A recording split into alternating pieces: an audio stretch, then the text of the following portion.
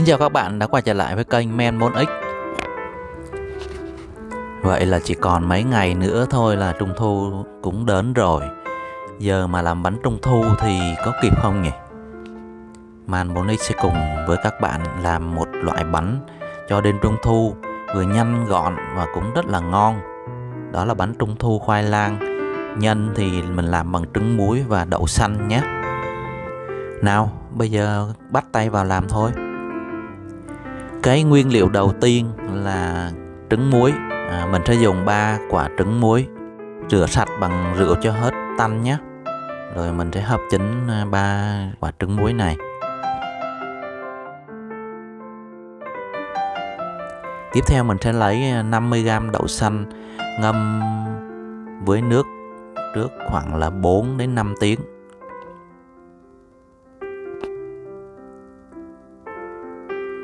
Nấu chín phần đậu này à, và mình tán nhuyễn. Hoặc ai có máy xay thì xay thật là nhuyễn nhé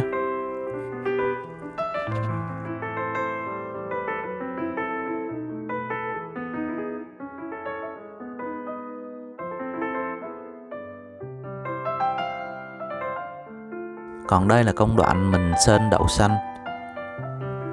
Mình trộn vào cái phần đậu xanh này 20g đường rồi cho lên bếp.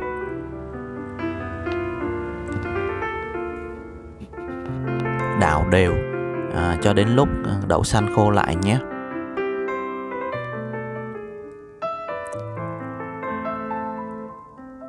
Xong rồi thì mình bắt xuống để nguội và chia cái đậu xanh này làm thành 3 phần.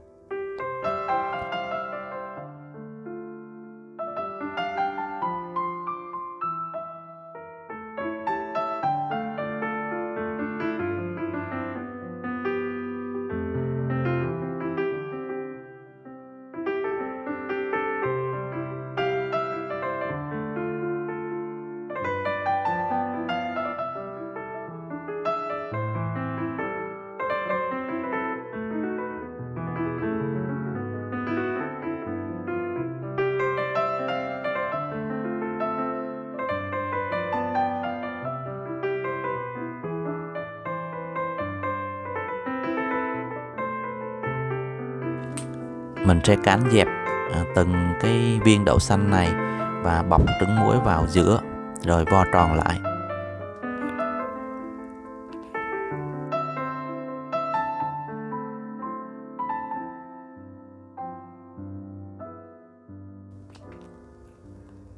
Cho hết cái số đậu xanh này vào trong tủ mát nhé. Còn đây chính là nguyên liệu chính của cái ngày hôm nay đó là khoai lang. Mình sẽ dùng 150g khoai lang gọt sạch vỏ à, ngâm vào nước muối để cho cái à, hết cái mũ của khoai nhé.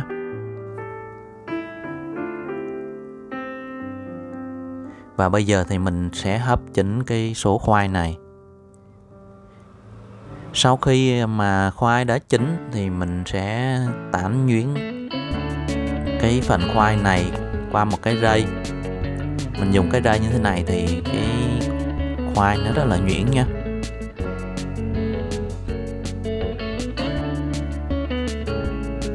Tán thật là đều mạnh. Ừ, Phen này á, mình cho hết nó khoai hết lang thang luôn.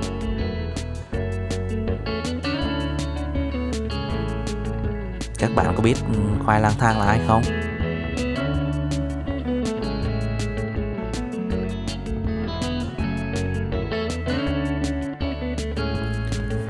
Trộn nốt ờ, 20g đường còn lại vào cái ờ, phần khoai đã tán nhuyễn này. Trộn thật là đều nhé.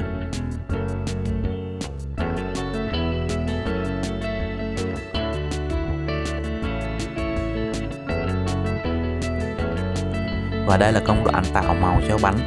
Thì mình sẽ dùng cái bắp cải tím tạo màu cho bánh này.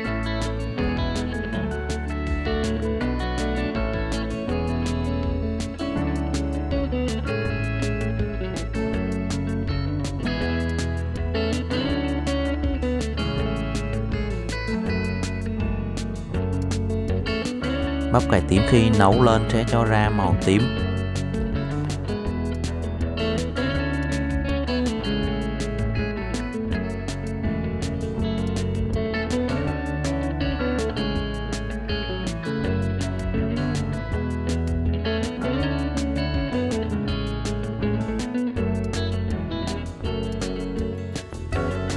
Sau khi nấu xong thì mình sẽ chia làm hai. À, một phần thì có màu tím một phần thì mình cho vào vài giọt chanh nó sẽ chuyển qua màu hồng nhé.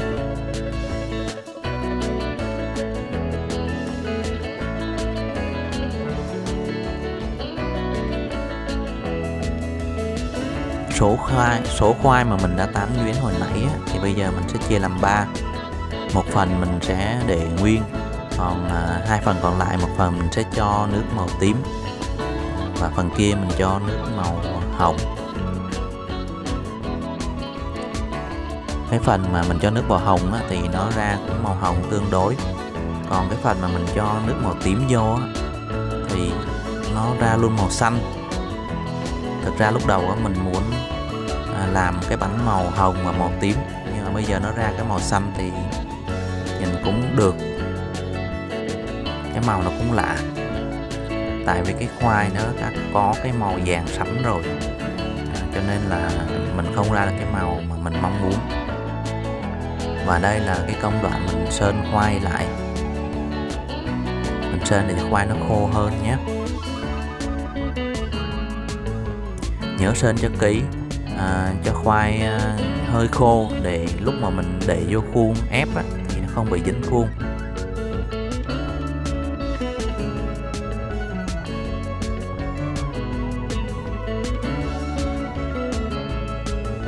Và cái công đoạn cuối cùng thì mình sẽ tạo hình cho cái bánh trung thu. Vo tròn cái từng phần khoai lang này lại và cánh dẹp ra. À, sau đó mình cho nhân đậu xanh và trứng muối vào giữa và bọc lại. Tiếp tục vo vo nữa nhé.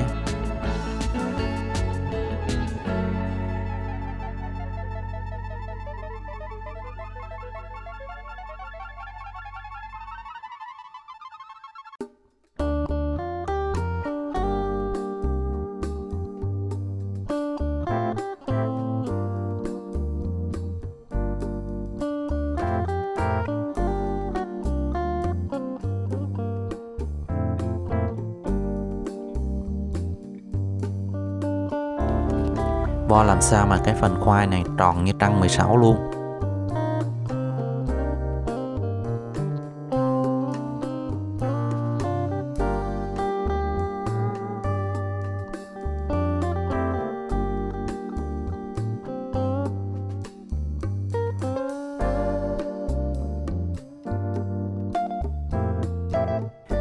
Bây giờ mình lấy khuôn và quét một cái lớp dầu ăn vào mặt trong của khuôn.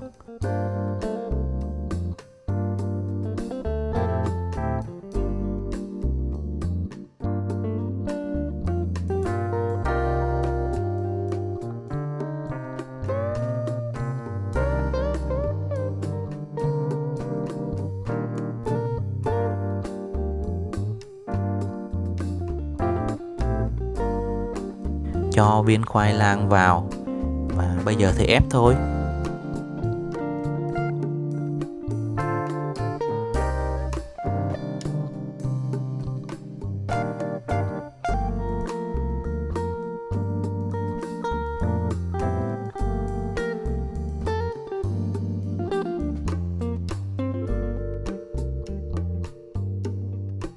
Wow, đã ra được cái hình bánh trung thu rồi nhé tiếp tục ép uh, cho hết ba cái.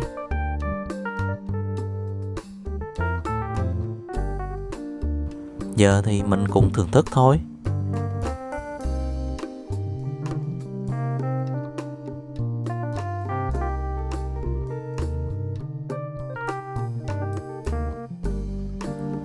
Nào thử cắn một miếng xem sao. Cái bánh thì có mùi thơm và bùi của khoai lang. À, và đậu xanh à, cùng với à, cái béo béo của trứng muối. Nói chung là ăn rất là tuyệt. Chúc các bạn có một đêm trung thu rất là vui và ấm áp bên gia đình. À, xin chào mọi người. Hẹn gặp lại mọi người ở những video sau. Mọi người hãy à, comment à, chia sẻ và đăng ký kênh. Cảm ơn rất nhiều.